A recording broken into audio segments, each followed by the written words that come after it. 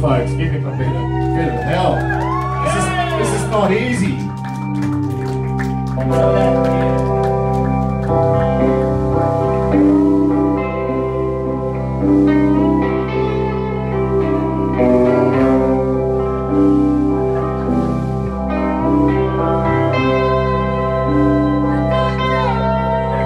gonna cut me a punishment haircut to remind me I'll be mad.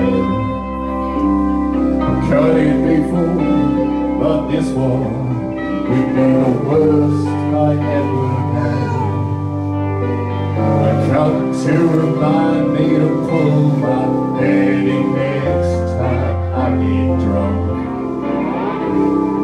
Maybe I won't get quite so fucked up.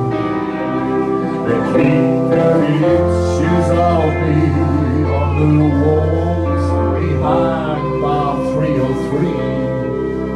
Now they don't serve me anymore, and I got no to.